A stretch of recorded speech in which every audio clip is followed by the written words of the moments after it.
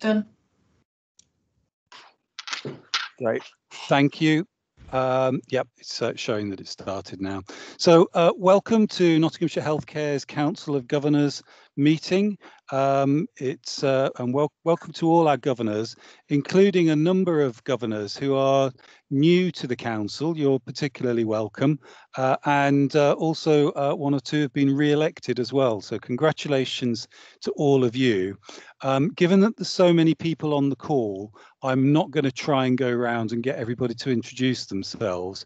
But if I could ask you when you do speak, if you could just uh, tell us who you are and your role in relation to um, the, the council and or the trust, please. Um, so in terms of apologies for absence, um, Lucy, I know that you'll uh, make sure a record of absences uh, gets put into uh, the minutes appropriately. Uh, I did just want to mention uh, one from the board, Umar Zaman, uh, one of our non-executive directors, uh, I'm afraid is still unwell, so isn't going to be with us again today. Um, I'm hoping that he'll be back in the saddle again soon, though, and I'm sure that we all continue to send Umar our best wishes on, on his recovery. Um, so if we could go to our declarations of interest and just to ask if anybody has got any interests that they need to declare in relation to today's agenda, please. If you could indicate in the chat bar, anybody, if you do have any declarations of interest. Okay, I'm not picking any up, thank you. Um, in which case, uh, if we can then um, go to the minutes of our previous meeting, which was back in January, which feels like a long, long time ago. Um, but uh, it, it's it's a little mixed. It feels like a long time ago, and yet feels like the time has flown by very quickly. So could I please ask governors for an indication of, uh, first of all, if uh, you agree these as an accurate set of minutes, an accurate recording of that meeting. If you could give an indication in the chat bar with a Y or an N, please, I'd appreciate that. Thank you.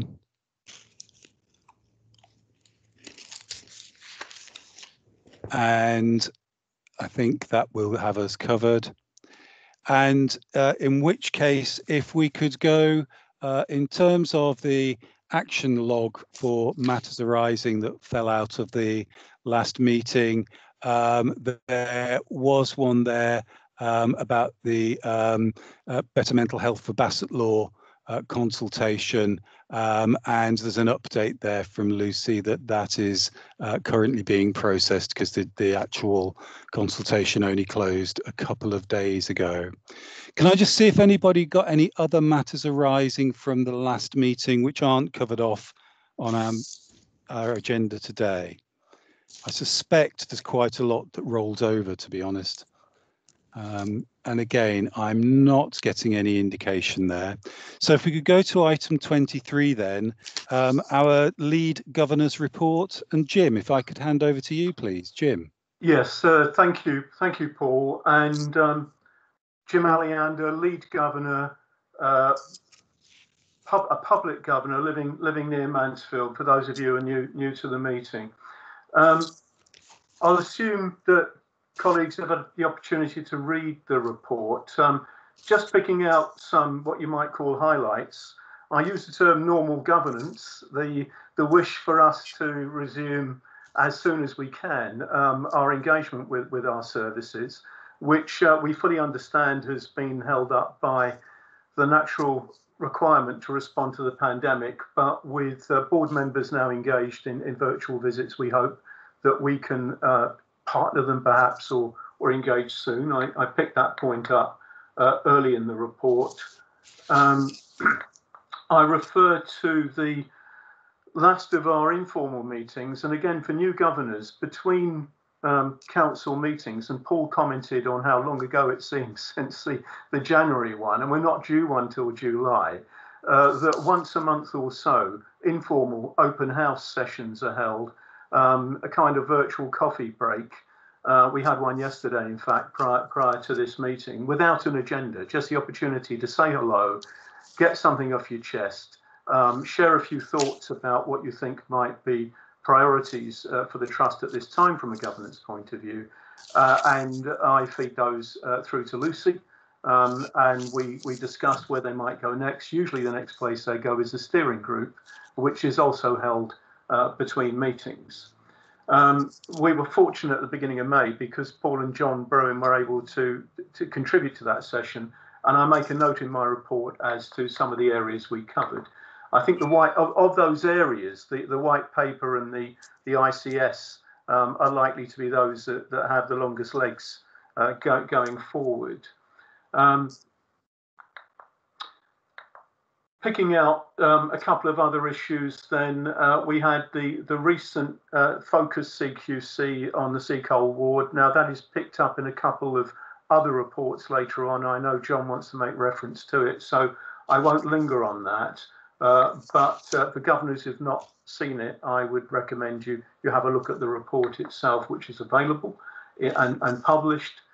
Um, and the other thing, which is an innovation, um, and I'd like to thank Shirley for this, Paul, if I may, uh, is the connection with Sherwood Forest uh, Foundation Trust, um, which uh, uh, Shirley helped to, to broker. Sue Holmes, the lead governor there, and I had a chat probably six weeks ago now, an introductory chat. And early in April, they were kind enough to invite me to their membership and engagement group, um, a particular group meeting they have, uh, and to allow me to stay for the whole meeting. So I got a kind of rounded experience of the agenda there.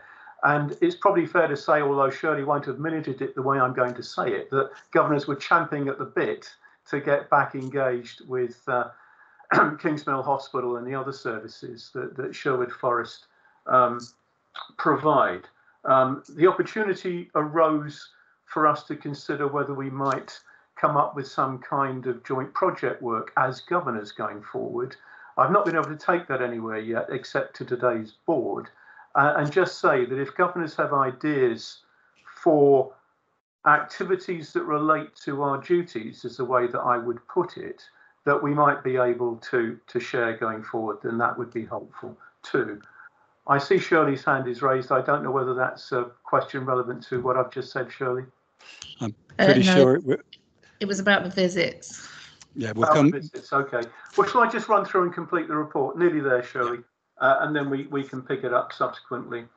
Um, yeah, yeah the, the report concludes with um, comments about training and development sessions.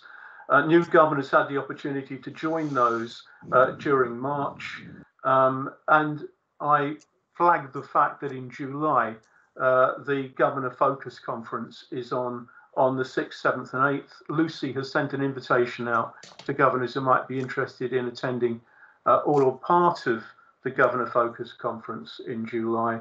Uh, and we will continue with the opportunity to flag um, joint joint sessions uh, wherever we can. And that's it from me, Paul.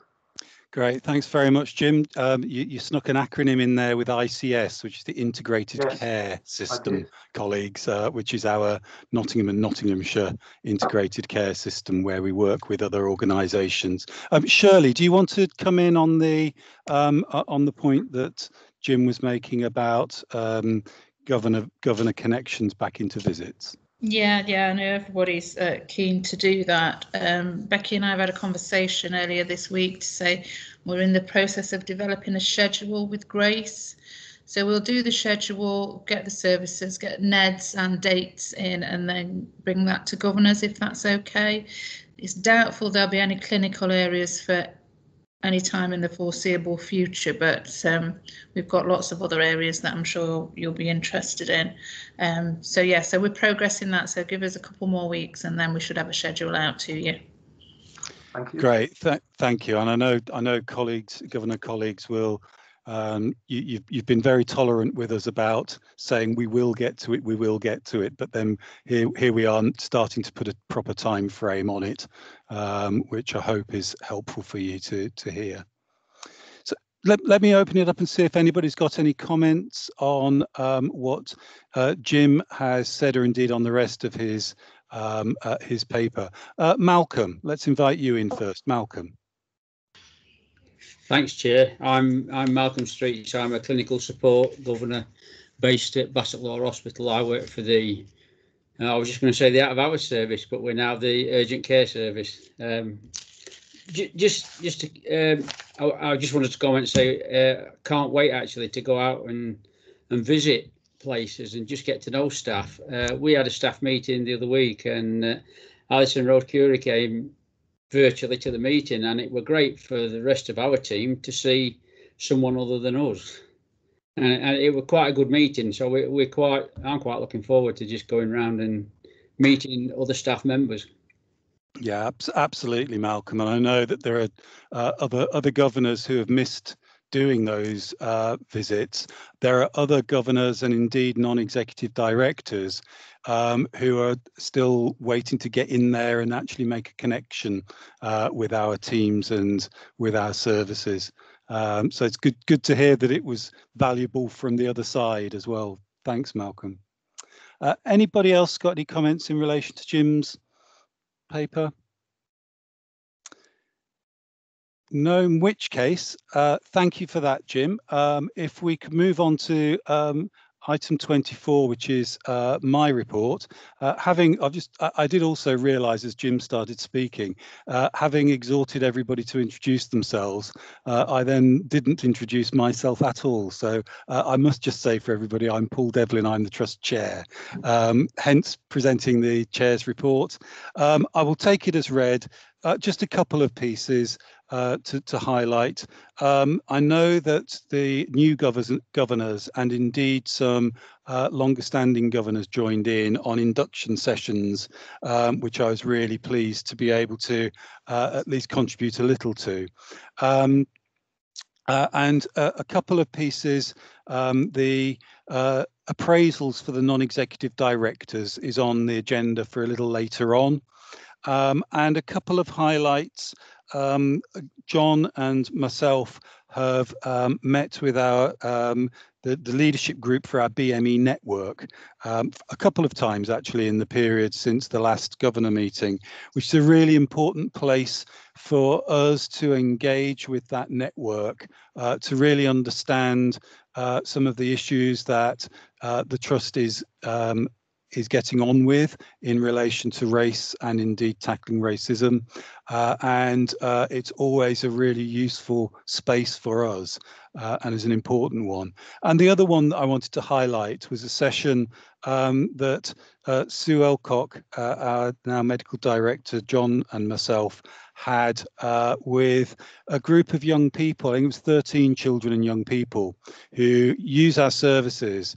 And it was a really, really positive uh, 90 minute session where we were listening to their experiences, but also they were uh, asking us some really great questions, challenging us on some of their experiences, but also coming up with uh, other ideas about ways to engage children and young people.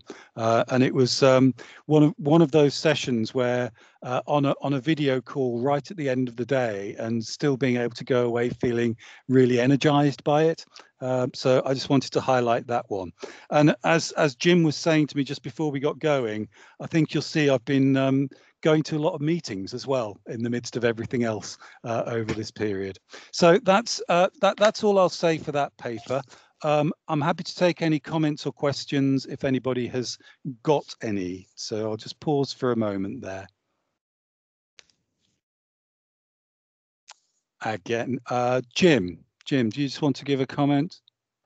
Uh, yes, please. It's a question really, uh, Paul. Um, picking up the cafe session, which sounded like a really exciting opportunity to, to meet some children and young people. Is that the kind of activity in the months ahead that you think governors might be able to join? I, I would have thought absolutely.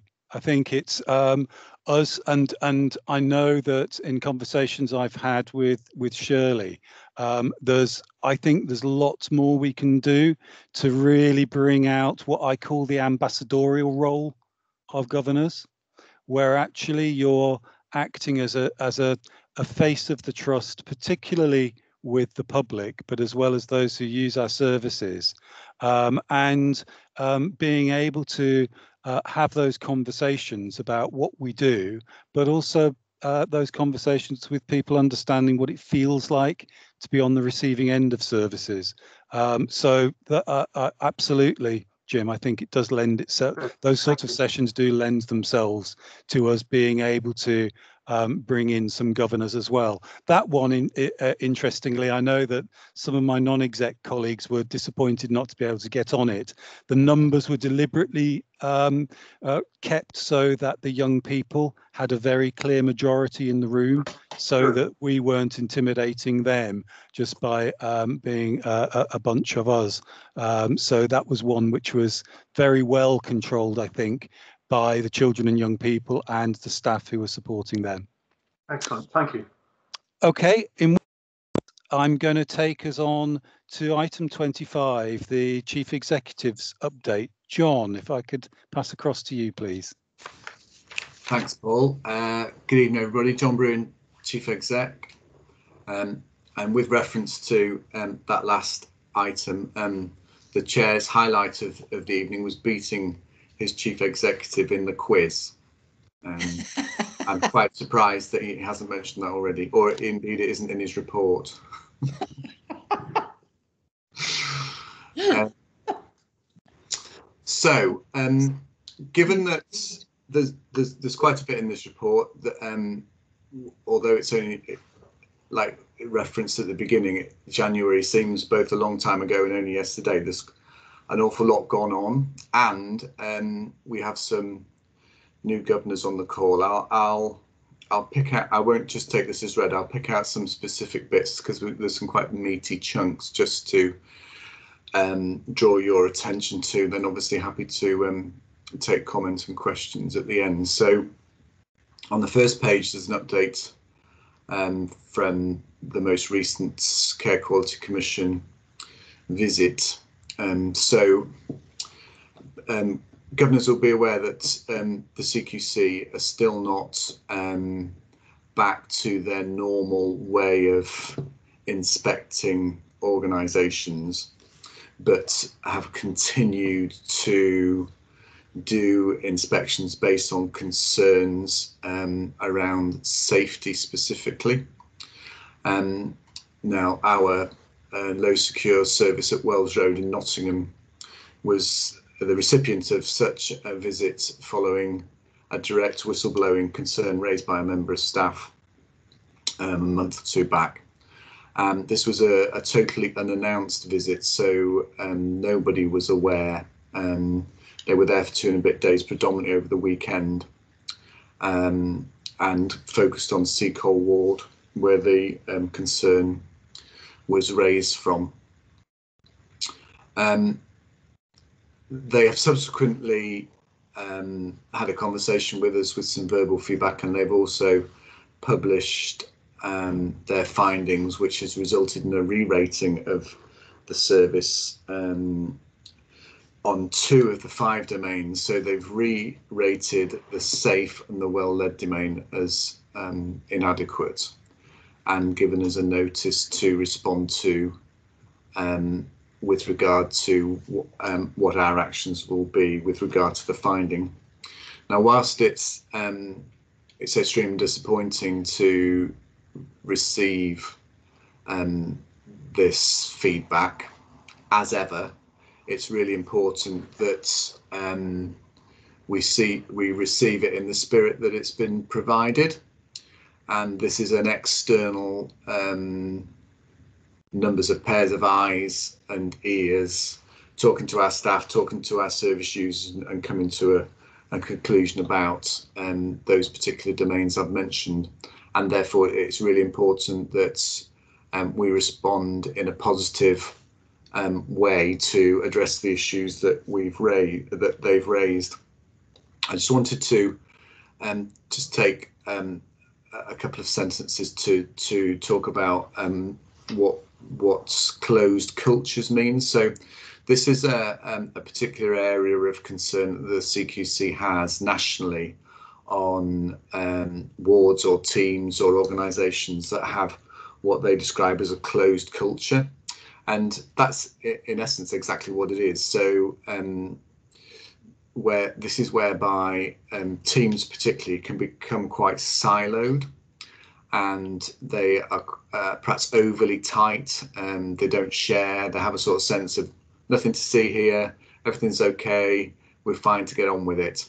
And they don't necessarily keep up to speed with um, either local trust or national developments in terms of cutting edge quality. Um, and there's evidence to suggest that as if these closed cultures become too closed off, then there can be concerns with regard to patient safety in the longer term. Um, so as, as the council would expect, we've responded really robustly to this. We've had some good open conversations with the team leaders and the team about um, these concerns. Um, we started to look at, for example, why some of our our own reporting hadn't picked it up. Um, and we will, of course, respond within um, the right timescales with an action plan back to the CQC. And um, we're confident that we can um, respond and reply to the to the concerns that they've raised. Um, we've also used it as um, uh, perhaps a useful flag to check out across the rest of the organisation whether there are similar issues that we that we may have missed elsewhere, um, and we're we're currently undertaking that piece of work. excuse me to um, to ascertain this. So whilst um, not a great place to be, um, as ever, it's it's the quality of response that's really important, um, and we'll make sure that um, we keep both um, the council and the board updated on progress. Um, moving to um, the next page, I'd, there's not an awful lot to say about um, national um, NHS um, improvements and NHS England, that's NHSEI, in terms of what the priority focus is. And this this report is um, already sort of looking to my eyes a little bit out of date. Now whilst those priorities and focus remain um, we just come up some of us just come off a, a regional call with um, NHS improvement about what recovery means. Um, and there are and there are some um, priority areas that are predominantly um, non-mental health. So you'll you'll people will be aware um, in the media of the, the very real concerns about what are called elective waits. So this these are people waiting for procedures in in acute trusts like Queens and City, Sherwood Forest, um, Bassetlaw District General. Um, uh, around so that's elective care, um, waits for cancer treatments and interventions. Some of the waiting lists for these procedures nationally have have gone through the roof. Um, and there are very real concerns about the capacity of the NHS more broadly to catch up. Um, and some of this, there are concerns that some of this backlog may take a number of years to get on top of. So it's a real priority focus for NHSEI to um, enable systems, because um, it's not just about acute services, to get back on the bike as as soon as possible um, you'll be aware of the challenge of that, not least the fact that um, everybody across the health and social care system has been has been at well over 100% um, since you know, the start of the second wave, at least back in September, October time, and asking staff to to step up further without that time for um, the wellbeing support services to kick in for um, recuperation to take place puts a real massive pressure into the system. Um, and that's um, yeah, one of the areas of very significant concern, um, particularly amongst chief executives and, and senior teams, how we can continue to support staff in such challenged environments. Um, I just wanted to say a little bit under local systems about um, the vaccination programme, not to go through it all in detail, but um, the council will be um, aware that we are um, the coordinating provider for the vaccination programme across the county. Um, after a, a, slightly tricky start back in December, January, um, I think uh, we were only getting told off two or three times a day at the last cog. Um, it's reduced significantly, but you'll see there, joking aside, that um, the the coverage for the most vulnerable groups uh, across the county um, is well into the 90s, um, 90%. Um, and this puts um, us and the region um, into a really strong position. Um, you'll note that um, the severe mental illness cohort is around 64% and maybe thinking, well, that's quite low compared to everybody else. Um, the, re the reason for that is that it, it's it's one of the cohorts that's come online later in the program um, and it's also um, within the group of what's termed clinically vulnerable so these are people that um, may um, have anxiety about um, accessing services may have anxieties around um, having a vaccine so it's taken some time to enable that to happen in a um, in a clinically effective and safe way. Um, but again, that, that figure is one or two percent above the national average. So overall, we're performing well um, for um, that cohort of patients. Um, there's probably not much more I wanted to say about the system other than um, I think Jim referenced earlier the the white paper um, people maybe have heard of this being discussed from a national perspective. And um, there's very, very significant change to the way that the NHS and um, care is is sort of overseen um, and organised over the next year, 18 months, two years, um, in terms of what organisations are going to look like, how um, money is distributed, how um, um, services are held to account and who oversees this. One of the biggest changes is going to be the um, the demise of clinical commissioning groups, CCGs. Um, they will no longer exist from April 2022, um, and that um, the, the traditional provider um, commissioner um, dichotomy, if you like, will, will end. so there's there's a there's a large amount of work to undertake during this financial year to describe how that will look for the future. Um, and then, then finally, Paul, just wanted to, um, I'm not going to go into too many of these in any detail, just to start to emphasise um, getting back to business as usual. So for many months now, we've been talking about um, staff accessing lateral flow testing, um, getting vaccinated, um, doing the social distancing, keeping our patients safe. And um, now, whilst that's still going on, um, at the bottom of page three onto page four, there's a business as usual, a few bullet points about, okay, so what does that actually mean? Um, so for the financial year that we've just started, there's what's called a rollover of contracts for the first six months.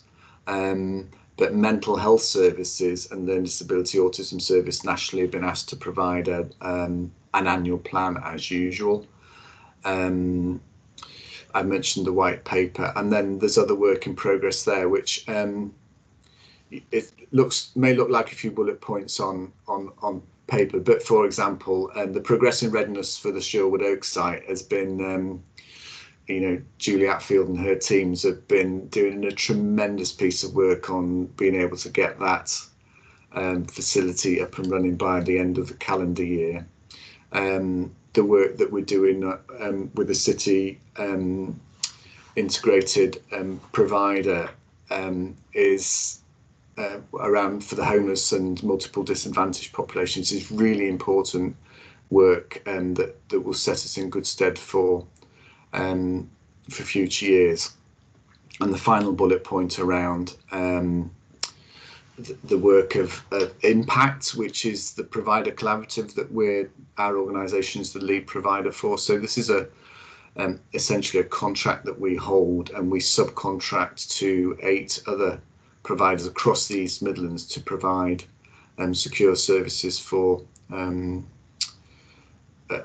across the, the, the forensic um, world of, of mental health. Um, that, that's a huge um, achievement for us. We're sort of leading the pack nationally but it doesn't come without um, risks and issues. So just a, a, sense that there's an awful lot of, of stuff going on as well as as we emerge from the pandemic. Um, and then just in the executive analysis, I, have just sort of summarised that really, and um, I'll perhaps leave it there. And then I'm very happy to um, take question and comment. Thank you. Great, Great thanks, thanks, very, thanks a lot thanks for, that, John. John. Um, um, first hand I'm seeing is Paddy, Paddy Tipping. Uh, so, John, uh, I'm Paddy Tipping. I'm the Police and Crime Commissioner and I'm a partner governor. Uh, John, there was an awful lot in that, but could I just take you back to the first point that you made, which was around the whistleblowing event to the CQC? Uh, what I think I'd be interested to know is uh, why whoever blew the whistle didn't feel in a position to work this through the organisation. In a sense, you touched on it a bit when you said we've been talking to the uh, uh, the teams involved and uh, uh we're making progress. Uh, so, so I think kind of my question is a bit more general. You know, are you confident that the atmosphere and the culture within the trust is sufficient that people can raise concerns and have them properly examined?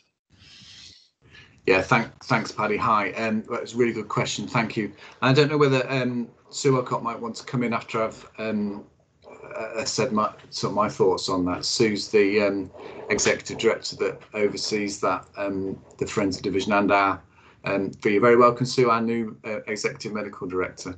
Um, so I, I, think bluntly, Paddy, in answer to your question, no. Um, I don't think we're yet in in the right uh, position around um, creating an environment of more broadly speaking up where all staff feel able to um, to put their hand up and say, I'm worried about this, this is a concern.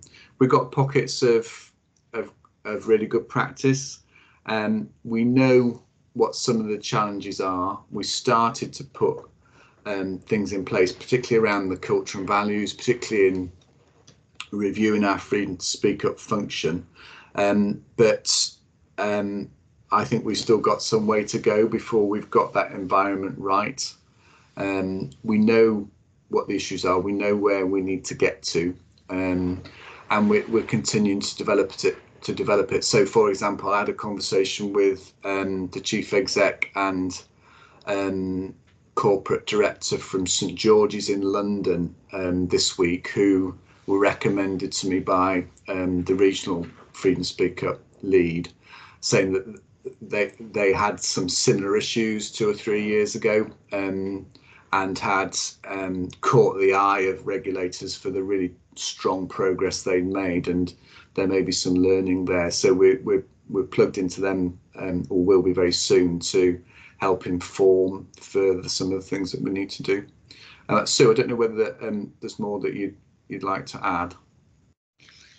Um, we've talked, I mean, talking about our division in particular, we've talked about a steel roof. And so people know how to escalate to a certain level. And we're trying to do a lot of work as to how they get outside of their normal hierarchy, because it's a very hierarchical um, sort of service to provide forensic services. So that's one specific. And I guess John said that we're doing a piece it's about what were the early warning signs. So we at the moment can't identify why we haven't picked this up. So there is a piece of work, as John said, to go back into why not? Was the data that we've not looked at um, because um, it, it, was not flagging. This wasn't flagging as an area of concern, which in itself, as you say, is more worrying than the actual issues because the actual issues that were raised can be put right. Um, the more worrying is, is why. So we are doing that. Thanks, thanks both. Paddy, I don't know if you wanted to come back on what you've heard there. No, I'd just say that's very helpful and uh, taking advice from other trusts and learning from their experience clearly is the way to go. So I'm grateful to both of you. Thanks, Paddy. And um, just to just to flag that it is something we'll come back to when we um, get into the performance assurance piece, um, hearing from the non-executive directors. So I've got a few people with hands up. I'm going to go to Roshan first, please. Roshan. Thanks very much, John and, and Susan. Um, I, I, was really reassured uh, to hear about the uh, the um, consultation that you'll be having with the other trusts.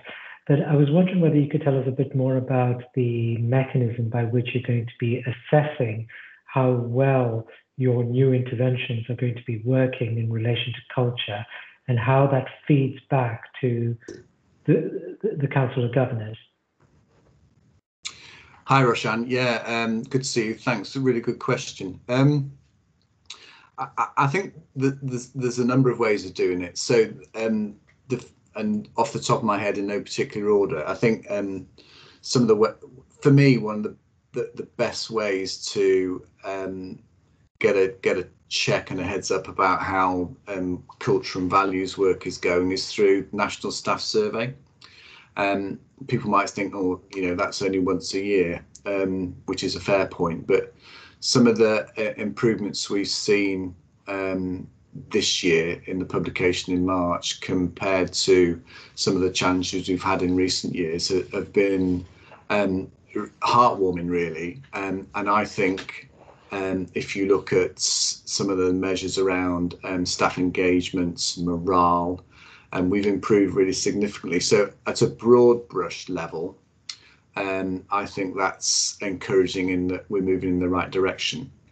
Um, and um, albeit it might only be secondhand, you draw a conclusion therefore that um, with that cultural improvement that people's confidence and ability to put their hand up would be supported better. Um, the the um, the development of the national staff survey this year is that um, we're also going to be doing um, what are called quarterly pulse checks. So rather than it being just annual, there'll be every three months now. We'll do a quick buzz into the organisation and sort of make sure that things are continuing to to move in the right direction. I think the other um, obvious um, way into this is through um, the freedom to speak up um, activity itself, and that there isn't really a clear answer to what's the right amount of freedom to speak up issues that you want to come across anyone's desk. And so, therefore, for example, um, low reporting trusts um, are seen as a bit of a concern. High high reporting trusts equally are seeing well that might be too many. So what's the right level? Um, but I, I, think where we are um, if you look at um, the the freedom speak up index which is published which, in terms of our performance it's seen as sort of mid to low table um, my view is that I, would like to see more coming through um, so that we can so that, that essentially to me, that's a that's a sign that people are starting to feel more confident. You obviously then have to sort of take account of the content of what's coming. Um, but there, would be there'd be a couple of sort of initial thoughts um, on that, Roshan. Roshan, I don't know if you want to come back on that. Thank you very much. I, I, I think you're absolutely right. I mean, the, the, the, the staff survey, the annual staff survey might be one indicator, but I wondered whether, given the heterogeneity and the heterogeneity and and also the, how large our organisation is, we have seen pockets of really good practice in some areas, but not necessarily translated to other areas. So I was wondering whether there was anything that was more locally uh, being developed, delivered and assessed, and whether that would be helpful also. I think I think that's a really good challenge, Roshan, in terms of us learning from where we're doing it well.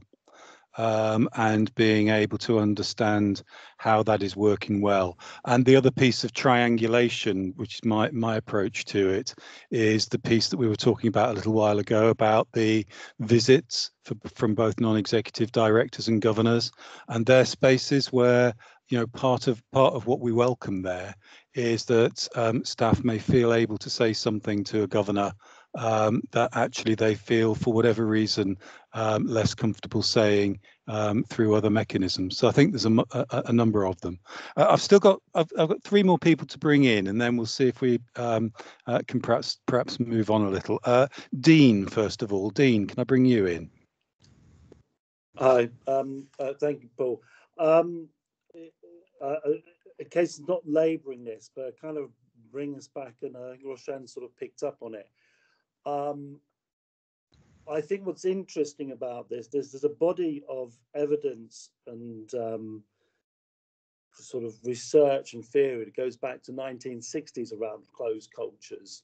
Um, uh, started off with Goffman. Um, uh, there's been various attempts um, acknowledging that Trust has done some amazing pieces of work to bring around changes with a classical institution at Rampton, um, and also that there are you know many many good practices. I I kind of want to underscore it, it strikes me as a bit strange that Wells Road is a stone's throw from your office, John. Okay. Now, I, I had the pleasure of being involved with the post Fallon report at Rampton.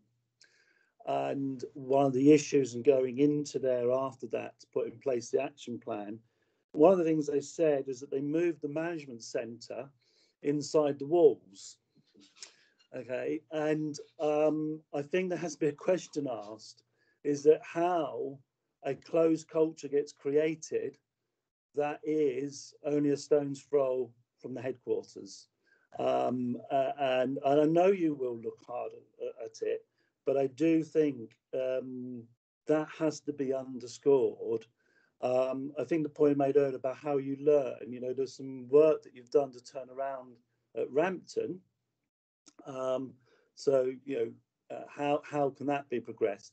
But um, whether COVID, whether the situation everyone's been involved with over the last year with the lockdown has got in the way, but there has to be a serious question around how someone feels. And I think Paddy kicked this off.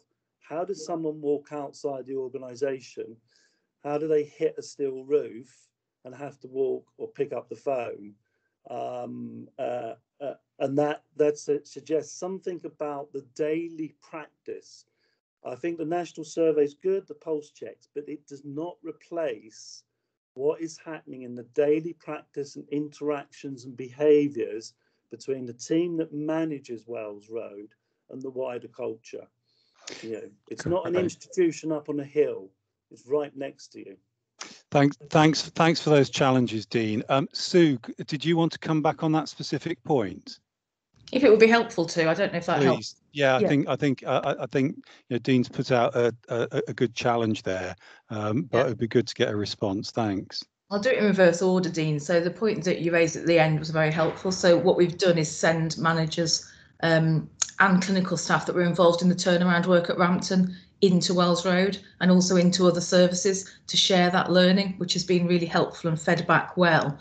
We've also, I think, Anne, is not able to join us, but from a nurse director point of view, the quality first visits, the quality first team has been enhanced, and we are absolutely pushing them into every single service. So as we have that our own internal view and challenge before it gets anywhere near the CQC or people feel that there isn't a team that they can talk to. Um, so I think we're starting to get feedback from from the internal teams, which is really helpful about the, the culture. I think COVID hasn't particularly impacted managers being visible because that, that's very it's that's very yeah it's helpful to hear those things yeah. Yeah. So I was just going to say COVID hasn't stopped the clinical managers being out and about. We deem that still to be necessary um, in various formats but our clinical managers have absolutely been out. So I'll stop there. Thanks thanks Sue. Um, and I'm, i have got Malcolm Shirley and then Jim if I could go in that order please Malcolm Thank you. Uh, I think most of my comments have already been covered. Uh, just to say that in my team, um, we're all quite aware that we can say what we like to whoever. Uh, it's, it's, never been a problem for us. Um, we have that culture within our team, so we can say it like it is without prejudice, and things get get done. But yeah, everything Thanks. has been covered. Thank you. Thanks for that, Malcolm. Um, Shirley, did you want to come in, please? Yeah, I just wondered if, from a trust-wide viewpoint, be useful for governors to have a bit of a development session with SIMBI, Freedom to Speak Up Guardian. I don't know if they've had that before, but SIMBI's uh, relatively new in post and doing some excellent work.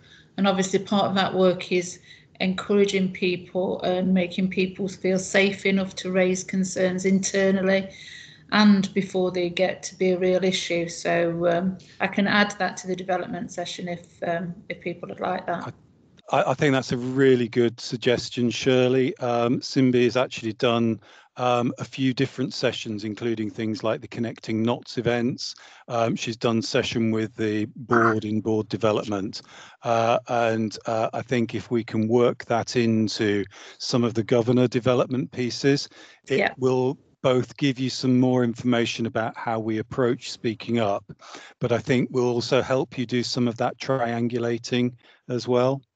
So, Jim, can we come to you finally, and then I'd like yeah, to. Thank you. On. It's a, a, different point on John's report. Uh, John, the trust-wide section, um, you, you make the point about the demand and acuity in mental health services has been at its highest since the start of the pandemic in recent times.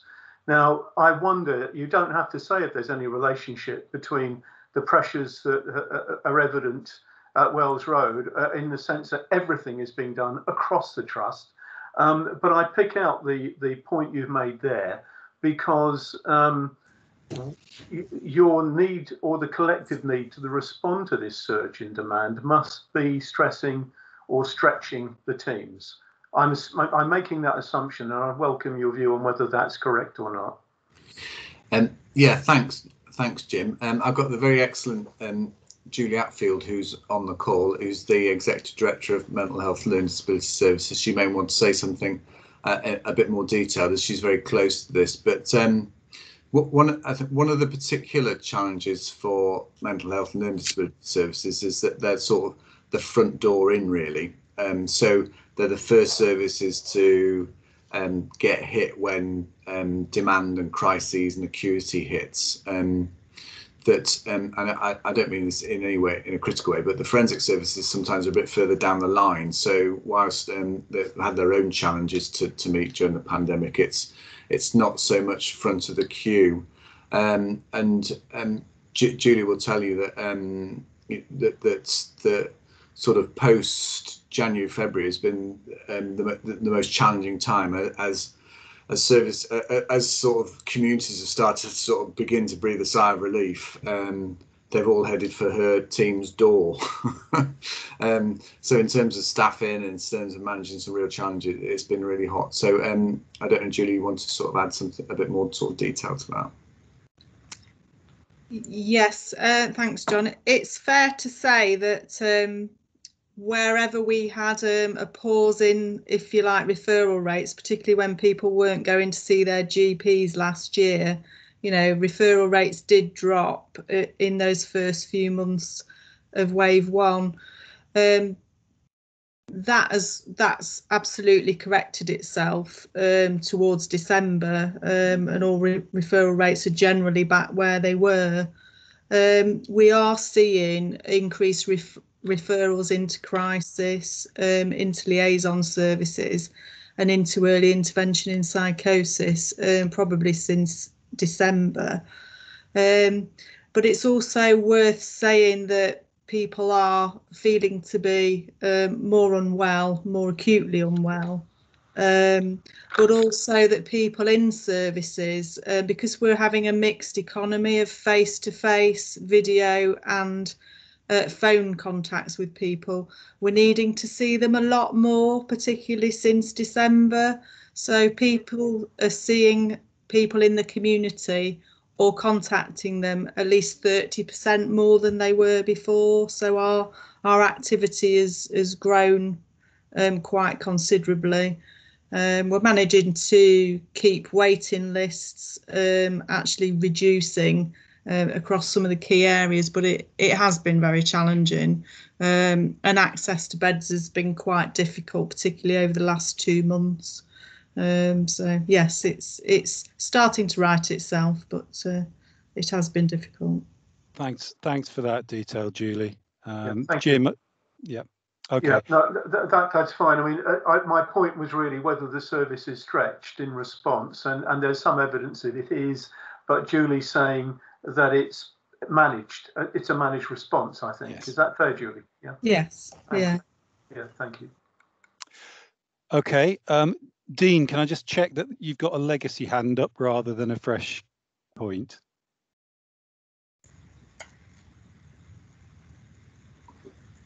I'm not. yes, thank you. Great. Um, so, well, thanks for that. Um, and and and as John, do you want do you want to do a do a wrap up, given that it was your paper?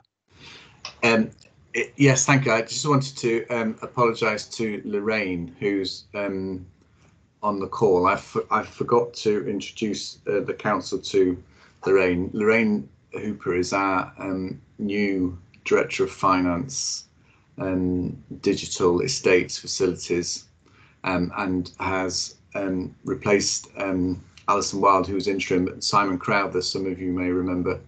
Um, Lorraine is um, the new substantive appointment. We were very pleased and very lucky to have her. It's her first Council of Governors to um, tonight. Lorraine started at the beginning of February, so I was just thinking, oh, saw her face there. I don't think she's been here before and not been introduced. So I just wanted to say, um, via the council, um, you're very welcome. Thanks. Thanks, thanks, John. And I'll take that as a piece of poor chairing as well, not inviting, not re recognising that Lorraine was in her first council meeting. I think it does actually reflect um, how quickly it feels like Lorraine's uh, managed to get herself really well embedded into the uh, board of directors.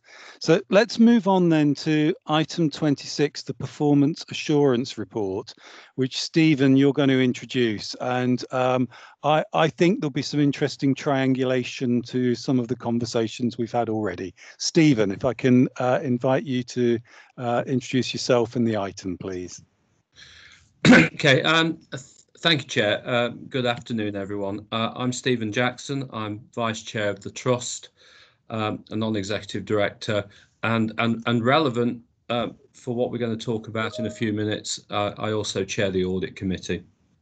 Um, so um, what I wanted to present um, was uh, a, a, new report and uh, um, I, I, think I'll say something more about its newness and and, and, and what feedback we'd like in, in a moment or two. But but I think Steve, Stephen, could I just could I just make sure that governors realise that this is a paper that got sent out as one of the additional papers, um, just in case anybody was looking for that. Apologies, Stephen. Okay. Oh, with uh, with that in mind, Paul, and I, I, might describe the paper a bit more a bit more fully, but um, um, I, I, think it's a, a, an appropriate moment, particularly with with so many uh, new uh, governors on on the line um, this evening, that um, an important general duty uh, of of the of the Council of Governors is to hold uh, us non-execs um, to account um, uh, for the overall uh, performance of the trust. And and this new report is is is aimed at uh, at helping governors uh, in in in that task. Um, and, and, and also indeed it, it, it it's uh, it's meant to be helping the um, the non-execs to to be able to um, to talk about the uh, the key areas um, in, in which um, you know they have been seeking um, uh, governance and assurance um, as as the um, as time has gone along. Um, I, I, this is only really the first time that this um, this report has been presented um, to to the council, and I, I, I think it's not in a perfect form yet. I think it's in a pretty good it's pretty good effort, but it's not in its perfect form yet. And I think as we work through subsequent meetings, we'll we'll see um, how we go, what sort of questions we get, and and and and we'll uh, adapt the report to make it as as useful and, and helpful as we as we possibly can.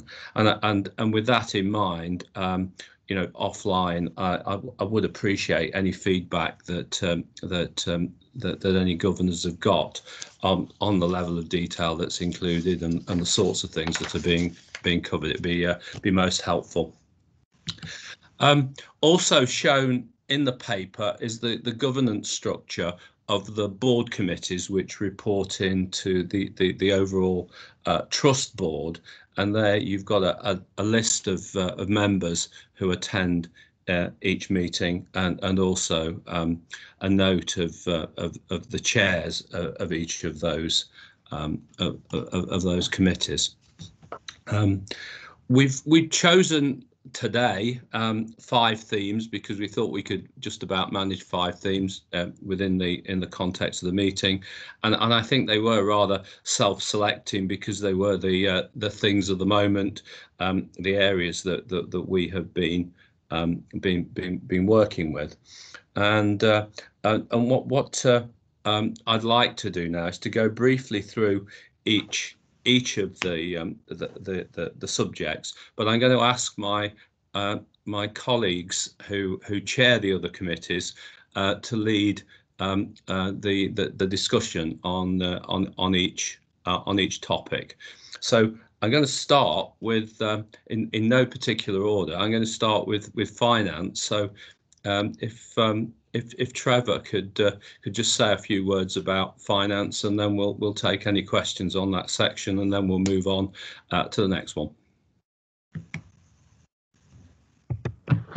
Thank you, Stephen. Yeah, Trevor Orman, um, non-exec director and chair of finance and performance. Firstly, to correct it, I would welcome Lorraine to uh, to the team. Um, as as I think. Uh, Paul alluded, it feels like Lorraine's already been around a while. So she obviously knows her way around the financial arena, which is hugely helpful. So welcome, Lorraine. But I'd also, I think it's important to thank Alison Wild, who was acting interim finance director, who did an outstanding job bridging the gap between um, Simon leaving and Lorraine joining us. So um, uh, we're really at full strength, and, and I'm really delighted about that. In terms of the overall financial position, I think you'll find that every trust in their countries in a quite a precarious situation where we've had the impact of COVID, and this is a completely unplanned, unknown event that, uh, apart from crippling resources, um, obviously hits hard on your financials because of the magnitude of expenditure that, that we weren't planning for. In the first six months of um, our overall yearly plan, the funds were being that any any surplus or COVID impact was going to be covered by um, NHS, NHSE and I, so that we would we would hit the first six months at a break-even position, which is which is exactly a logical, sensible thing for NHSEI to do, uh, because we, it was in a, a, an unknown arena um, rather than pushing people into deficits. For the second six months of the year, um, the, the, the rules of the game have somewhat changed, where the the, uh, the consolidated integrated uh, the ICS has, has has determined that we have to reach a break-even position across the community of Nottinghamshire, which means that instead of uh, NHSE and I funding any gap, it's got to be funded by a group of trusts together. Now, that's going to be extraordinarily difficult, not for our trust and the community of trusts, but also across any trust in the country. So we will end up um, in still very, very good shape our, ourselves. Um, I wouldn't, I wouldn't want anyone to, to think that we've got an overrun condition because we haven't. We'll have a minor deficit. We're not an outlier. Um, and one of the one of the areas that, that's worth noting as well is when you're in these situations, apart from managing your financials in a normal routine, you you you have the added burden of where we have to commit to improvement activity. And when you're when you're drowning with activity of just keeping the, the the place uh, uh, uh, safe and, and and patients being dealt with, the opportunity to focus on financial and cost improvements becomes almost impossible. So we do know that there are areas that we can pick up going forward, but it's very difficult to, to put us in a recovery position. So we will end up the year a minor deficit. Um, it's still an extremely good position for the trust to be in, to be fair, and we still hold a good cash position as a trust that will give us a level of protection for any capital spend that we've committed to or going forward. So overall, and in a nutshell, um, it's it, we've had a track record of, of, of hitting our targets. We'll slightly miss that. It's highly likely that we'll slightly miss that this year. It's not a big issue, and we're not an outlier. Um, and we will get ourselves back in shape when things settle down. But like like all other trusts, we were caught out by changing the rules of the game, which somehow will have to be balanced out by NHSE and I over the coming weeks, which which they have no alternative but to do. So um, overall, a good position. Okay. Um, so, um, colleagues, any any questions for uh, for Trevor?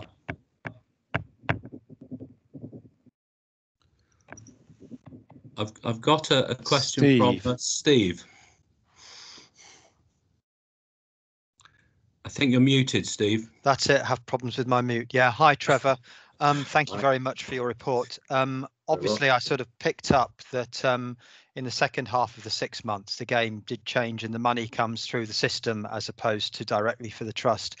Um, I gather this is the way things are going to go forward. Are we foreseeing future problems with this um, allocation and this mechanism or um, and indeed we have our system responsibility to think about within that which is going to offset our organizational responsibility i just wondered if there's any comments around that uh, it's, it's, it's a really good question. I can give you a personal view, to be honest, Steve. That is, I can't see how NHSE and I can recover from a situation of imposing um, controls over trust after the event. Mm. So you, you, can't you can't magic money. Um, You can't manage cost savings. So there will have to be a position where the, where the overall overriding bodies will have to come to a compromise. Um, the, the amount of deficit caused by COVID is not, in my opinion, Steve, recoverable by cutting costs or improvements. It's just not feasible.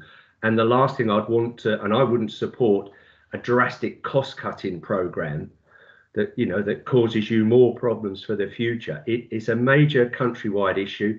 We should face up to it as a as a as a, a consortium of of trust across the country and make our position clear. But we will have to contribute and do everything we can within the system, as you can appreciate, Steve, so that we can't be an outlier protesting against something where everybody else is in support. So we will have to do our bit. But I think we have to be very pragmatic in not putting our hand up for things that we know is not the deliverable. Okay, that's great. Thank you very much, Trevor. You're welcome. Thanks, Steve. Steve. And uh, Lorraine, would would you like to uh, come in and add something? And uh, yeah. I'll, I'll, I'll add my welcome to you. Thank you. Um, so if I if I may, in response to that question, I think so. I think Trevor's right. We're just in the we're just starting now to even try and contemplate what the size of the the COVID challenge has been getting to this point, and then what forgive perhaps it is a crass phrase, but the clearing up will be so what the additional surge will be into our services, what physical health waiting lists will be. And so inevitably there is more uncertainty than I've ever known at any point in my career with finances. And that we're quite black and white accountants, so we like we, we like some certainty. And so everything we've traditionally relied on has has disappeared. And at the same time, there's the white paper that changes those commissioning arrangements and, and what might happen with CCGs as well. So there's certainly more uncertainty than I've known. But at the same time, what we have got are, are good systems and processes that are working through understanding what those problems are, both inside our organisation then in our system and how those feed in regionally as well. Um, the bit we don't know is what future mechanisms for financing look like, but our job is to make sure, as Trevor rightly says, we're a good system partner and we spend our money wisely in a value-based way to deliver care to our patients and that's our responsibility. Okay, uh, thanks, Steve. Um, I, have got, got a, no more. No more. There's a question. There's a question from Malcolm. Um, okay. Stephen. Oh, it's not showing on my screen. Thank, thank you, Paul. Malcolm. Yeah, sorry about that. Uh, I, I, didn't know how to get the question back. Uh, everything's been covered actually. Stephen answered the question, so there was no need to bother. Thank you. Okay, thank you. Well, with with with no more questions, then I'd I'd like to uh, change gears and uh, come to to my colleague Steve Banks to uh, talk about freedom to speak up. Okay, thank you, uh, Stephen. Hi, everybody. Uh, Steve Banks, non-exec, if uh, any of you haven't met me before. Um, we kind of touched quite well on this subject earlier, so I'll just try and add things that haven't been said before and obviously leave space for some questions. Um, but I did want to, um, I think, start by saying it's many of the right questions were asked earlier. Um, obviously, we'd still rather somebody raise their concerns, albeit externally. Um, there's a number of routes you can do it, but we do want to create the environment where um, people feel safe and supported to talk about uh, issues locally, and that's usually the quickest way to fix things. Um, there's been a lot of uh, focus from the board I'd like to provide back to the governors uh, as by way of assurance um, on developing freedom to speak up. Um, we did have a gap during the year in having a guardian, and we did notice, as the paper says, um, that uh, the actual numbers have decreased somewhat, and, and, that might have been part of the reason of people raising concerns. Um, but from a board angle, as well as having board development sessions on freedom to speak up, uh, with, with SIMBI supporting us, um, we've also completed a board assessment, uh, we've completed training, and some of us are um, going through a process with NHSIE, uh, where one of their specialists is helping us to review where we're at, um, help us with ideas and best practices from elsewhere, um, and see uh, what else we might need to be doing. Um, are we resourced correctly for sake of argument? Um, I draw attention to uh, the fact that um, there's training being rolled out for managers, which I do see as a key way of addressing some of the conversation earlier. Um, I've done the training. It's it's good. It raises some questions. Um, and at a board, we've discussed supporting managers locally to help make change, not just complete the training.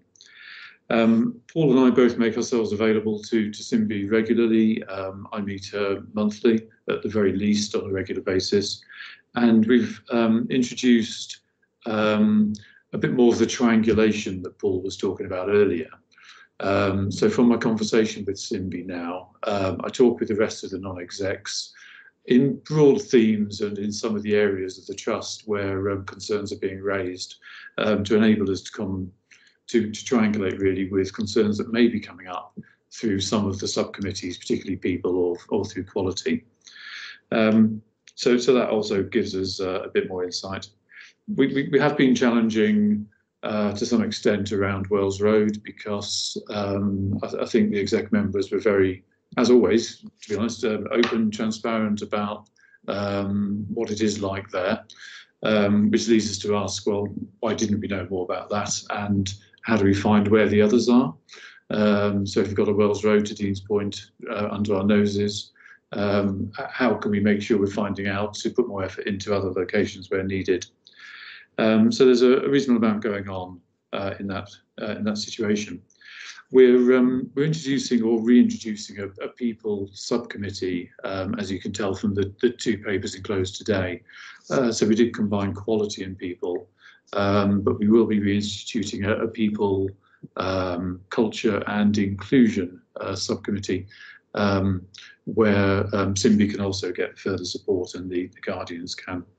So I just wanted to add those um, sources of uh, assurance and uh, provide some assurance to the governors that despite um, people feeling, some people feeling the need to go outside of the trust, there's no shortage of attention and uh, uh effort and genuine uh, desire to make this a trust where people can talk freely and feel supported in, in raising issues that need to be sorted for, for patients or carers. So I'll stop there, Steve, and see if there's any questions. Any questions for Steve? Uh, Jim. Thank you, Steve. Um, it's more of a comment than a question, if I may, Steve. Um, and it's where we get assurance in this difficult area. And the comment I would make is, uh, and it's what you've been saying rather than necessarily written in the report, the fact you yourselves have been trained, uh, you ought to be able on that basis, I'm reading between the lines as it were, to be able to question in the right way, in a contemporary way, in those difficult areas where, without the expertise necessarily that goes with the training of the professionals, you as a, a director ought, on the basis of your training, to get beneath the skin the skin of the issues. And I make that comment, I think, in particular, uh, for um, to be helpful with new governors who would want to know how governors can uh, themselves gain assurance from the report that you're making. So it's a long-winded way of saying thank you, but on the basis that I think I've learned something from that about the in-depth way you're addressing complex issues. Um, thank you, Jim. I appreciate you you helping me make that clearer. Um, and um, I, I, would say that that does help us um, ask the right questions. Um, it also prompts me to say that um, it also helps in not just supporting Simbi in her role, but also sometimes concerns are raised directly to us or to me. Um, and, and again, it helps us in the right kind of processes, if you like. But yeah, I'd recommend that. Okay, Stephen, I'm not seeing anything else. I can't see any other other questions. Uh, got a, some applause there coming in, Steve. So uh, I think that's a first. Um, in which case, then um, I'll um, I'll take on the next section myself, which is the uh, the piece about the the board assurance framework, and this is the um, the method by which we um, uh, manage um, the, the the the high risks um, that that that are apparent to uh, to the trust.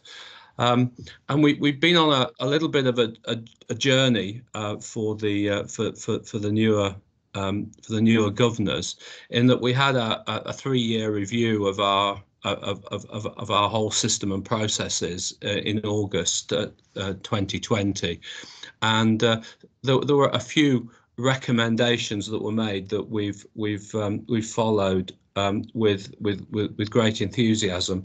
I think the old system had been a, a good one, but it's like like all systems, it, it, when you when you use them over a long period, they can become a little bit tired. And so so um, apart from improving what we were doing, there was also this this um, new life that I think that was that was bred into the uh, the process by by doing it.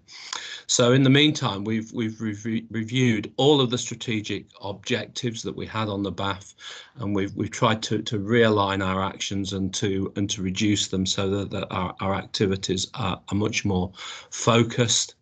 Um, we've reformatted um, uh, the, uh, the, the the the BAF risks to show um, much clearer assurances and the way in which we're going to uh, be able to achieve and to reduce the risks in in of achieving our strategic objectives. Um, all of the individual risk registers uh, across the organisations which sit underneath uh, the BAF have, have, have also been uh, reviewed and, and re-energised and, uh, and, and, and, and, some eliminated altogether. And, and overall, we've established a, a risk committee um, which um, which has been uh, uh, chaired by the executive team, but which I, as chair of audit, get invited to as an observer. So that's been been quite helpful.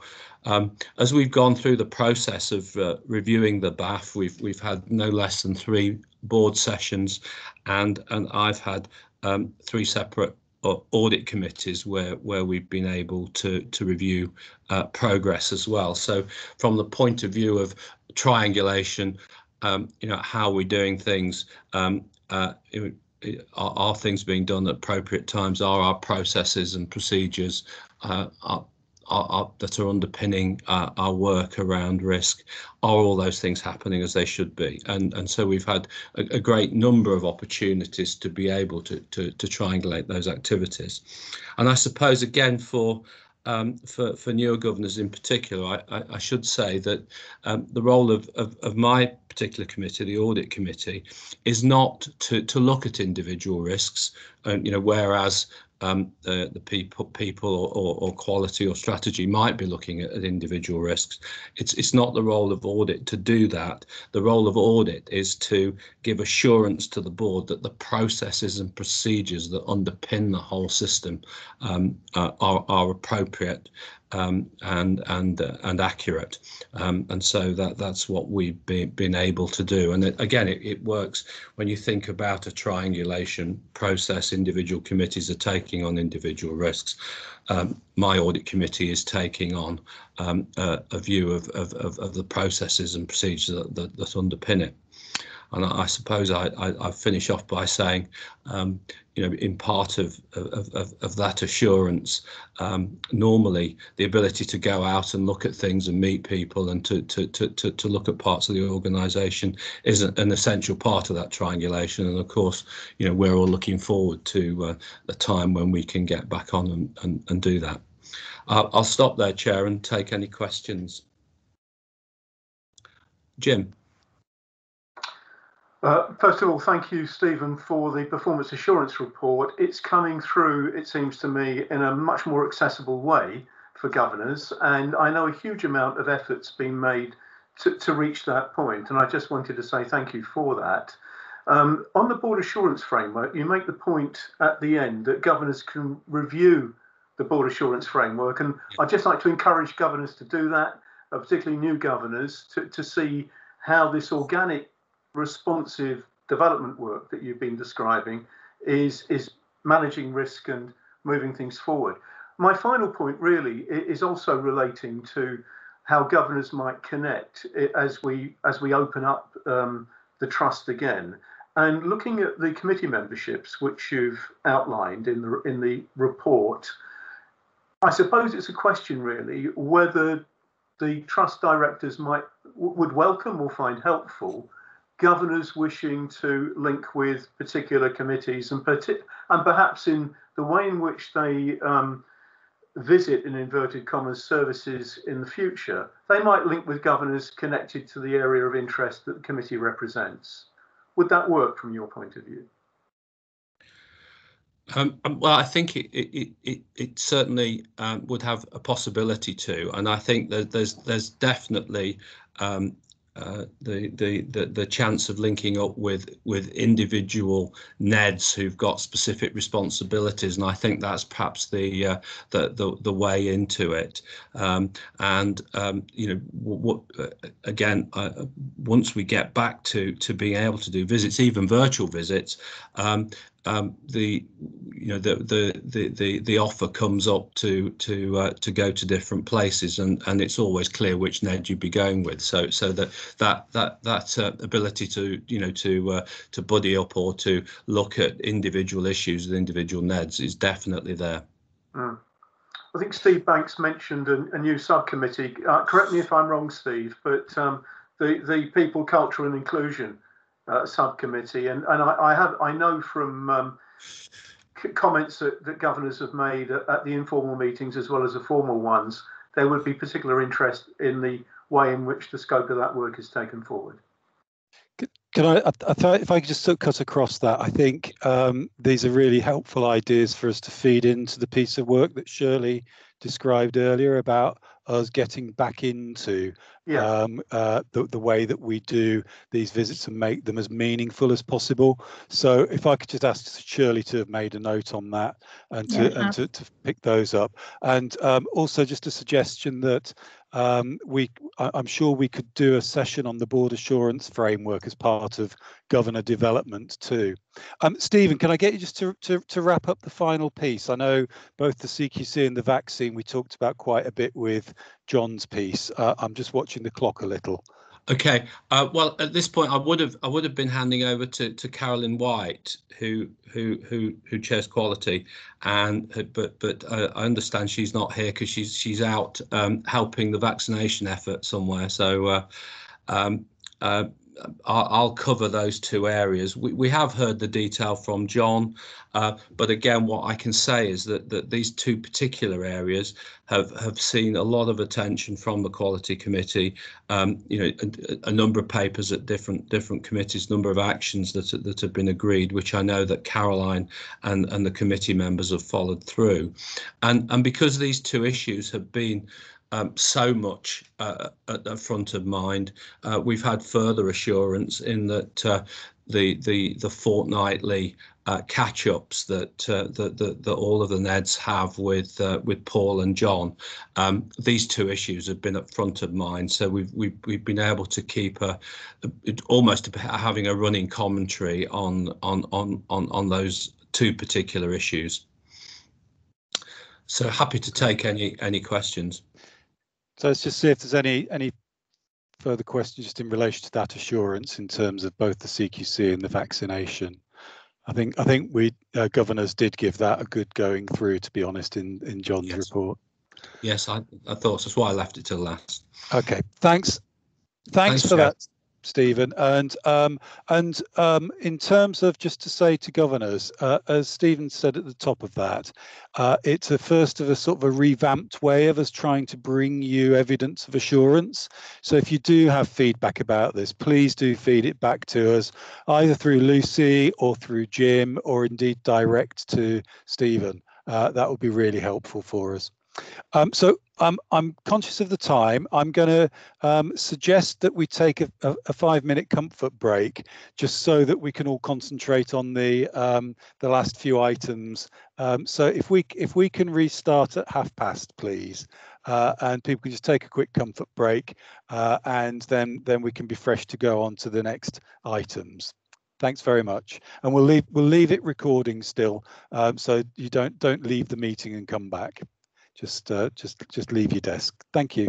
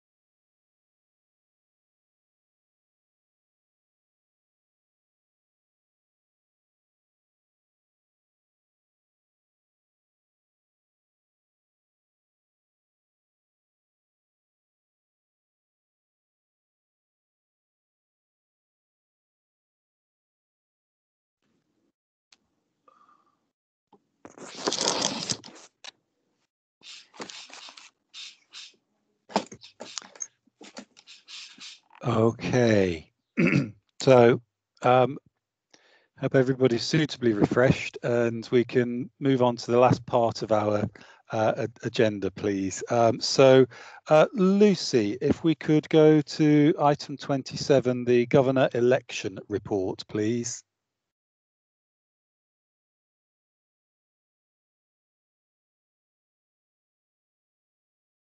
Lucy, are you on mute? Sorry. I was just saying I'm Lucy Mills, Governor and Membership Officer for the Trust. Um, just to mention that the election process concluded last month. Um, we've elected um, a number of new governors and also two um, existing governors were re-elected. Um, and those governors have completed their induction um, last month. And welcome your first meeting. Thanks for that, Lucy. Um, I'm not sure there's anything that people will have questions or comments on with that. It's a, it's a piece for information for us, I think. Yeah, it is. The results are in the paper. Great. Thank you. And if we can, and um, Jim's uh, Jim's just put a comment in there about it being great to see all constituencies um, are covered. Uh, also welcoming the new governors. Uh, so if we could go on similarly to item 28, please, Lucy, on the deputy lead governor election. Yes, so just to put this into context, at the January council meeting, um, the council approved the proposal to seek uh, a deputy lead governor um, and that process um, took place over the last couple of weeks. Um, the election was uncontested, so that um, nomination was Benga Shader, who automatically takes up that position of Deputy Lead Governor. So this item is just um, asking the council to approve that um, appointment of Deputy Lead Governor. Great, thank you. Um, it's all gone through the due process.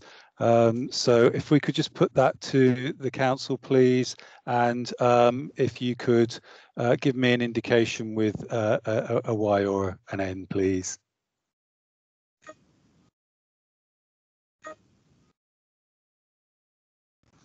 Thank you very much. Um, and Benga, really, really pleased that um, you were able to put yourself forward for uh, the role of deputy. Hello. Hi, Benga. Do you want do you want to give do you want to give any comment, Benga?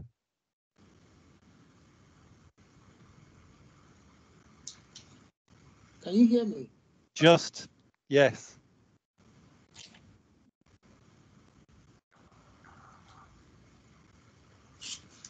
You're not Don't coming. you're not coming through very clearly, Benga. I'm afraid. Um, but we we uh, certainly. Hello, I'm having issues, please. Yeah, I, uh, I think you're having some connection difficulties. Um, just to say, we, we will be linking Benga in um, with um, my deputy Stephen Jackson as well, just as another piece of the picture. Um, but let's let's well let's say welcome Benga. Congratulations on taking on this role. Um, so thank you for that. If we move on then to 29, which is the non-executive director um, appraisals. Sorry, um, sorry, Paul. Jim had his hand up. I don't know. Uh, thank you, uh, Jim. Yeah, I just had my hand up to do what you're doing and say thank you um, to Benga for for taking on the role of deputy lead governor. I've got a sense of relief uh, that, that you're doing it too. Um, there's a real job to be done. We've heard from the uh, roving reports around the trust at today's meeting how much we need to connect. And I'll be very grateful uh, for Benga's assistance in discharging my own responsibilities. Great. Thanks. Thanks for that, Jim. Okay, so let's move on to the non-exec director um, appraisal report. And um, uh, I'd, uh, I'd flagged in my um, chair's report that one of the things that I'd done since uh, the council last met was to carry out appraisals um, of six of the non-executive directors. Um, so uh, as is as is referenced there, um, Manjit Darby and Umar Zaman um, uh, had only joined in October, so um, obviously wasn't an opportunity to do an annual appraisal for them. Um, and it was really an opportunity to do some looking back at their year, but also to be looking at um, some specific pieces for them to pick up on. Uh, and um, for each of the uh, non-exec directors, they've got a, a, sense of key areas that they are uh, focusing in on. Some of them relate to the committee membership and roles within those committees. Others relate to um, particular strengths that uh, non-executive directors have got that I was seeking um, to, to, to, have brought into the board of directors even more. We reference the evaluate system, which is the same uh, electronic system which governors will, uh, some governors will remember was used for uh, you bringing comments on me and my appraisal. And part of the rationale for using that is it's an opportunity to build year on year. And um, I just wanted to bring um, the appraisal um, uh, process to the attention of the council uh, and to be noting that the um, the ratings um, through evaluate that the non-executive directors got from their colleagues around the board table um, actually uh, stack up very well against the benchmarking data that Evaluate holds uh, for other um, boards and the way they use those. Um, and uh, I think it's obviously it's the first time that I've carried out appraisals with the non-exec directors, um, and I think that when we do it next year, um, there'll be more for us to have developed and built on um, as we've gone through this year. Um, but it felt important, despite the fact that we were doing this in the context of the pandemic, that there's an opportunity for non-execs to reflect on what had gone well for them during that year, and indeed to be thinking about things that they wanted to do even more of in the year ahead. So um, I put that out there uh, and just pause to see if anybody's got any comments or questions in relation to the non-executive director paper, please, on the appraisals. Jim, do you want to come in, Jim?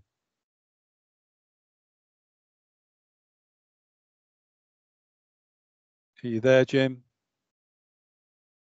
Yeah, sorry, it didn't it didn't unmute clearly. Sorry, I was simply thanking you, Paul, for a clear paper, uh, and going on to say that it would be helpful if development areas that come from the appraisals could be made known to the Council of Governors, because we could then connect through our own development areas to the Trust's overall priorities. And for new governors, it would also, I think, help us discharge our responsibility for holding non-executive directors to account. Great. I think that's that's useful feedback. That I think um, if I could ask Shirley just to make a note of that for us for processes as we go forward. Uh, I think it's also fair to say that um, uh, uh, for the non-executives as well actually um, going through it in this way was a new process for them. Um, so we had some collective learning that fell out of that. Uh, one of the pieces that um, i subsequently picked up for example is that um, we've agreed that uh, we'll have quarterly one-to-one sessions between non-execs and myself, um, uh, uh, notwithstanding any of the other formal and less formal sessions that we have collectively, which I think is an opportunity for the non-execs and myself just to really keep on reflecting in a little bit more real time uh, about how things are going. Uh, but happy to build that in, um, Steve, uh, uh, Jim, thank you. Okay, um, I'm not seeing any other comments there. Let's go, if we can, then to item 30, which is a verbal item. Uh, Sarah, if you want to introduce yourself and the item on the annual plan, please. Thanks, Paul, and uh, good evening, everybody. I'm Sarah Furley, and I'm the Exec Director for Partnerships. Um, and I've got um, six slides, actually, I'm just going to talk through um, to give context for the annual plan, and Lucy is going to bring them up um, any minute. So whilst they're coming up, I, I am um, Oh, there they are. I can see them. Thank you, Lucy. Um, so if you could uh, just go to the um, first slide. What I'm going to talk through is the National Planning Guidance, um, um the um, developing draft um, annual plan for for us and what our next steps are. So just moving on um, to next slide please the planning guidance. It was published um, right at the end the national planning guidance was published right at the end of march. Um, and what it sets out is that the integrated care system the ics oh sorry lucy just go back one the integrated, that's it, thank you. The integrated um, care system has to develop a triangulated plan that has got activity, workforce and money in it just for the first six months of the year. And the rationale is, is as we talked about earlier, that because um, societally it's very difficult to understand the size of the COVID cost pressure coming, um, we've been told that there will be a NHS financial settlement later on this year for months 7 to 12. So in the first instance, we're, we're just planning as a system um, for the first six months. Um, there are six priorities at a national level, um, and if we move on to the next slide, I'll just talk those through. So the six priorities are um, about supporting the health and well-being of our staff. So the kind of things that we'll be thinking about is having health and well-being conversations, how we make sure that staff are safe, for instance, with infection prevention and control measures, um, and also um, the national planning guidance sets out that every integrated care system needs a mental health hub um, for its staff. Um, and also that national guidance, uh, that national priority, the first one is going to be about um, how we grow our workforce and we get that pipeline right and get additional staff into the NHS. Second priority is all about the um, COVID vaccination programme and how we continue to meet the needs of people that have COVID. So um, that is about people, for instance, who have uh, perhaps suffering from long COVID, um, and we've now got clinics there. But it's also about um, some of the um, work that we've been doing with COVID patients at home. So we've got virtual wards at home uh, that prevent hospital admission. Also under that um, second national priority is um, the NHS is being asked to look at its critical care capacity, and this is in preparation in case we um, experience a third wave. Uh, priority C at a national level um, is all about um, accelerating the restoration of services. And John mentioned it earlier about um, how surgical elective services um, uh, are, are, restored. We have significant waiting lists now, um, both for surgery, cancer care, and other services. And how do we get those um, services back up and running and put in additional capacity to get through that waiting list and that backlog of people? Um, under that um, third priority, um, the national um, guidance does mention um, this is also about putting an increasing um, capacity in for the growing demand on mental health services. So that, that national priority is really relevant for us as a trust. Um, priority D is about primary care and how we get GP practices and community services back up and running. Um, they've been running predominantly um, telephone services with an increasing number of face to face contacts in more recent months. But how do we get them back up to full capacity as well? Um, and this um, priority is also where we address all of the health inequalities. Priority E is about uh, transforming community and um, urgent and emergency care it's predominantly about 111 services, A&E services um, and same day emergency services, but it is relevant for us as a trust because it does talk about timely crisis response to avoid um, hospital admissions and I'll say a bit more about that later. And then the sixth um, priority is about working collaboratively across the system. And this is very much this year about how we work together to deliver those um, national priorities, but also um, as we go through this year um, and we all understand the impact of the white paper, I think that sixth priority will become uh, more important. So um, if we could just move on to the next um, slide, please. So those are our, are our national um, priorities. So as a trust, um, what we have done is we've asked clinical directorates, the clinical divisions and corporate services to think through what their operational priorities would be and then as an executive team um, and as a board, we've looked at what our strategic priorities would be. Um, and I'm just about to talk that through now. So this is work in progress, but where we want to get to is that we have one trust, one plan. So whilst the integrated care system are writing a plan just for six months, we're actually going to write a plan for the next 12 months because we do believe we know what we've got to do this year. So next slide, please, Lucy. Thank you. So we have got 49 um, operational priorities that have really come from the services, the directorates, the divisions and, and up and we've got 11 strategic priorities and it's the strategic priorities that I'm going to talk through now.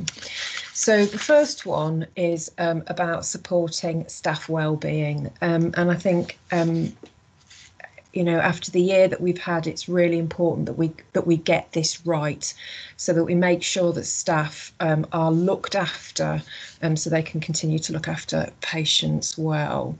So there's some technical things in there about making sure we've got um, good workforce utilization making sure that we're planning correctly for um, increasing workforce recruiting and developing staff Second strategic priority for us is about um, just and restorative culture. So this is about building on the values and behaviours work that was kicked off in 2019 that we have been using throughout the pandemic.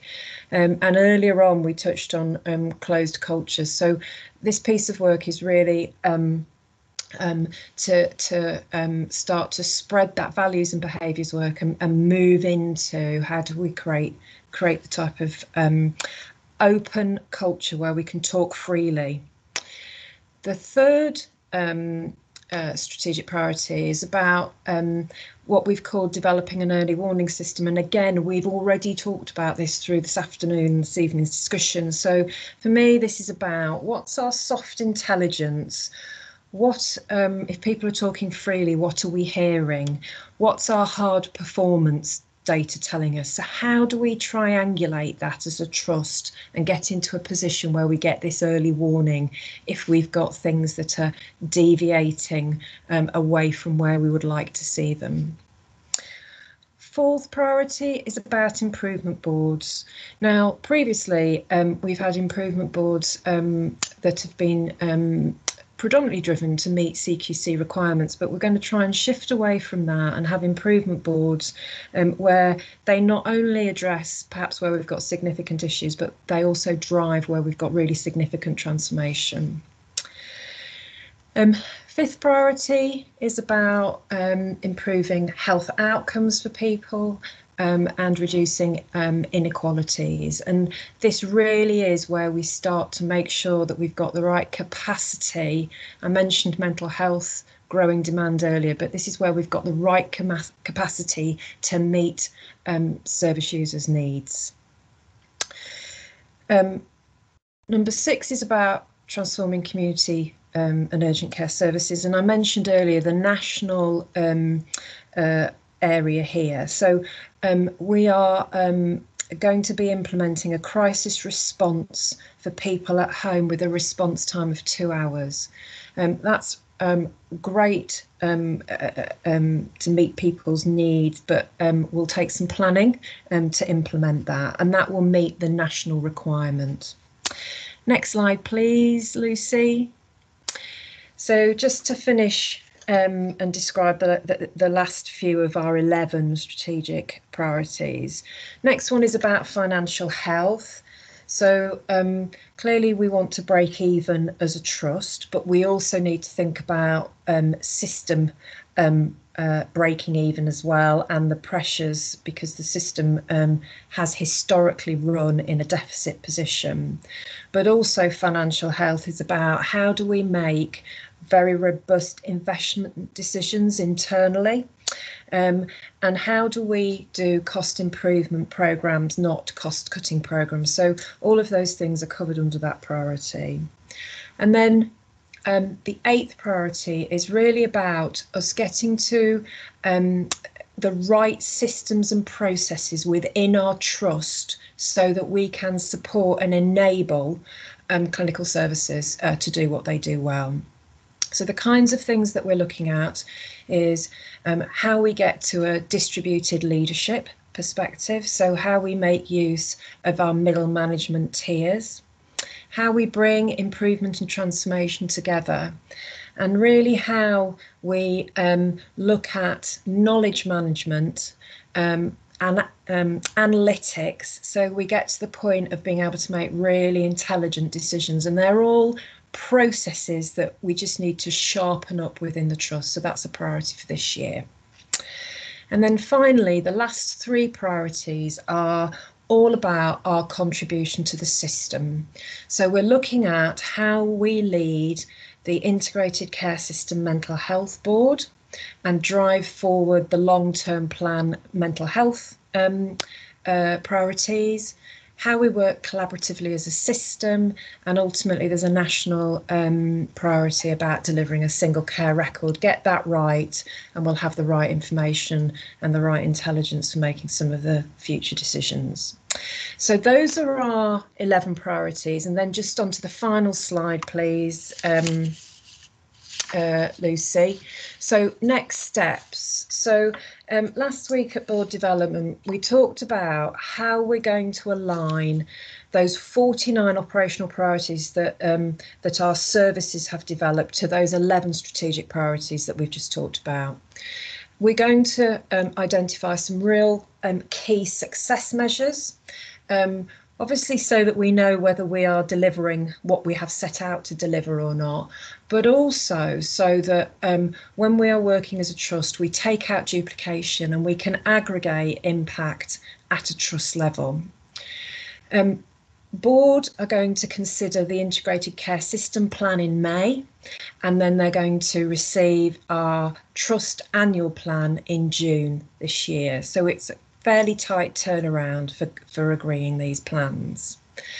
Other things that we um, just need to finalise is that we need to be really clear um, for all of our priorities which committees they go to so they um, can uh, receive assurance and then those committees will report into the board. Um, it is an ambitious plan um, and we need to make sure that we've got the right capacity to deliver that ambitious plan. And if we haven't, decide how we're going to schedule those priorities. We're going to need some really tight um, program management um, support around it and an agreed approach so we make sure that we monitor whether we're delivering or not. And in order that we do deliver, we're going to have to accelerate our distributed leadership so that our um, senior managers, middle managers um, take responsibility for, for delivering some of these plans. And then finally, we need a really um, sharp communication plan so that whatever level you work at within the trust, um, we can all between us articulate what our priorities are this year. Um, so Paul, I'm going to stop there. That was my last slide. Okay. Thanks.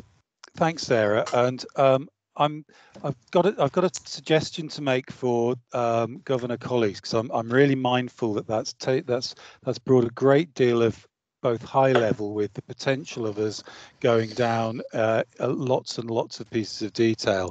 And we're also nearly two hours into our session.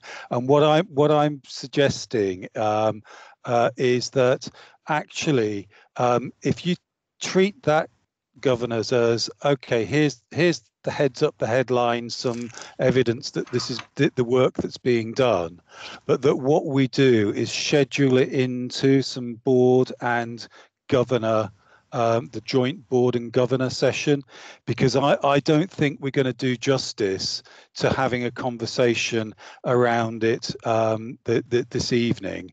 Um, I think it's helpful that you've had sight of it, but I, I would much rather um, that we, we we build in a really strong opportunity for us to have some of those really good board and governor um, conversations and work it. It means that we can get in some some depth, which I think is a kind of conversation that's probably not quite right for us to do in the in the public council meeting. I, am seeing I'm seeing some um, some some support for that as an approach um, including a thumbs up from Jim, which is always welcome. Um, so, uh, Shirley, did you just want to comment on that yeah, before I move no, us on? Yeah, just to say, I'll I'll make sure that that happens going forward, and we'll be really clear why we're bringing these things to COG. Yeah, because because I, I think the way that we can then have those discussions, I think we can make sure that we can really draw on governor perspectives as we have proper conversations about pieces. So if we're okay to to take that, um, and just um, I, I, have got one item of uh, any other business. So just before I get to that, I'll just pause to see if any governors have got any questions on um, other pieces. I'm not seeing anything there. Um, okay, um, in which case, just to go to um, and, and, and any other um, business piece.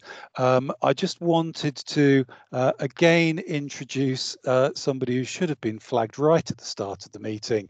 Uh, uh apologies. Um, I want to introduce uh, Yolanda Martin, who's our Associate Director of Communications, um, just to give us, uh, to, to give governors just a couple of bullet points um, about the state of play of our Oscars uh, awards. Uh, Yolanda, do you just want to introduce yourself, say hello, and just uh, give us a couple of bullet points on the Oscars, please? Hi everyone, thank you Paul. I'm Yolanda Martin, I'm Associate Director of Communications, I joined the Trust on the 1st of Feb, so very pleased to be here. Um, I just wanted to give you really an update on the Oscars and how fantastic it has been this year. We've had a total of 433 nominations um, which is the most that the organisation has ever had in the 18 years that the um, Oscars process has been running. Uh, the team think that's to do with COVID, obviously, but also because we've also taken the opportunity this year to streamline and simplify the process. Um, for me, what's really good news as well is that across the board, um, in the nominations categories, we've had a good cross selection across the whole of the organisation from every single one of our divisions. So that's absolutely brilliant. The shortlisting is going to be announced on, I think, the 13th or 14th of May, with a virtual ceremony um, taking place on the 10th of June. So I just want to thank executive colleagues and team leaders for encouraging their teams to um, nominate each other. It really has been a great effort. Thank you, everybody. That's great. Thanks, thanks, Yolanda. Um, I mean, it is really, really positive to see, um, and um, I'm really looking forward to uh, getting a sense of some of those great nominations. And um, you're very welcome in the trust as well, Yolanda. Okay, colleagues, I'll just double check that I've not missed any more. Uh, yes, Jim, uh, totally agree about um, the, the, the um, both the quantity and I'm sure quality of nominations um, that have come through. Uh, so I look forward to the process that we'll be um, going through to whittle those down. Um, so um, we've got a joint board and council of governors scheduled for the tail end of June, um, and we've picked up a few items that we'll want to um, uh, capture there. Uh, and as we'd mentioned earlier, the next council of governors itself is in July um, which again is one of those times it feels like it's a long way away. I bet it'll come around really, really quickly for us. Um, oh, sorry, Paul, can I just point out that it is the 15th of July, not the 25th of July, which is on was on the agenda. Oh, I was reading from the agenda there. Thank you, Lucy. That was uh, uh, a, a, clarification there. Make sure that that goes out. And just to say, uh, I think Jim had asked about getting the slides that Sarah had shared. Uh, I, am sure that we can share those round. Um, uh, uh, ahead of us getting into a conversation at the joint board and council of governors session. Okay, colleagues, I'm going to, if there's nobody else wanting to come in on anything, uh, I'm going to call that uh, meeting of the Council of Governors to a close now. Uh, thanks very much, everybody. And um, I look forward to keeping on getting contacts with governors and um, hopefully in the relatively not too distant future, we'll actually be able to start to plan to be meeting in a room together, which I think would be a significant improvement for us being able to connect with one another uh, and actually uh, really make our conversations work well. Uh, but great to see all of those folk that uh, I've been able to see on the screen. Keep on taking care, everybody. Stay safe. And uh, I look forward to uh, catching up with you at our next opportunity. Thanks very much. Bye, everybody. Thank you. Bye.